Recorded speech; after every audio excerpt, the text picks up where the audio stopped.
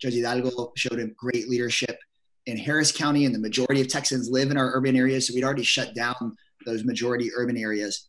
Um, and you know, we canceled South by Southwest, and that sent a really strong signal to the state and to the world about how serious this was. But what we face is a governor who has put that public perception before public health